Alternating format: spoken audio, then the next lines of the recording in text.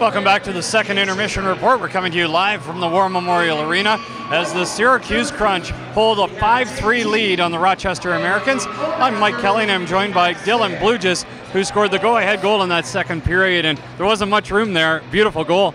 No, I, you know, I think I had a little luck on my side. It was a good play by uh, Joel dropping the puck to me, and I saw space going to the net, and you know, my first instinct was to pass it Angie's stick, but you know, I had so much space that thought I'd give it a chance, go to the backhand. You know, I think the puck had eyes and it, it got in the back of the net. Second pro goal. You're considered a rookie, but certainly we're in the second half of the season now, and a grizzled veteran out there.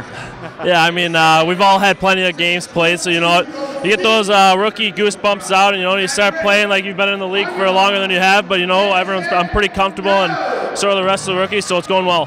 What's been the biggest reason that you've had such a smooth transition? Oh, I mean, it's got to be the team. I mean, we've been playing great, obviously, and obviously playing a lot of games really helps you too. So you know what? Um, it's been a pretty uh, easy transition, but tough at the same time. And team's winning as well. That always makes it fun. Yeah, exactly. I mean, when you're winning, it's it's always fun playing hockey. Absolutely. The defense really chipping in tonight. Three of the five goals from the blue line. Yeah, I mean, doesn't happen often, but you know we'll take it as much as we can.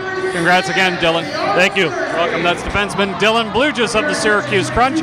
Crunch leading 5-3 after two periods of play. Back with more after this here on ESPN Radio Syracuse.